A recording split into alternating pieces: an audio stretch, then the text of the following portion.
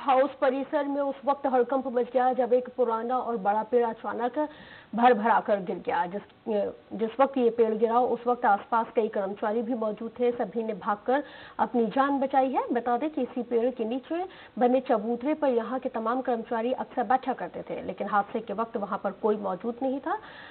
जहाँ पेड़ की डाल गिरी है वहीं रेस्टोरेंट के किचन में तमाम कर्मचारी काम कर रहे थे। इस घटना में किसी प्रकार की कोई जनहानि नहीं हुई है। एक बड़ा हादसा चल गया। पेड़ है सब कर्मचारी लोग बैठे थे। पेड़ अपने आप ही गिरा हुआ है। पहले से फलक गया था आज ये गिर गया हम लोग मरते मरते हुए बचे थे। एक विशाल का शाखा जो है पेड़ की बारिश की वजह से गिरी है। तो अभी उसको पीडब्ल्यूडी और फॉरेस्ट की कर्मचारियों को बुला कर, उसकी शाखा को छटवा कर व्यवस्था की जा रही है। चलिए बुलेटिन में इतना ही। ताज़ा तरीन खबरों की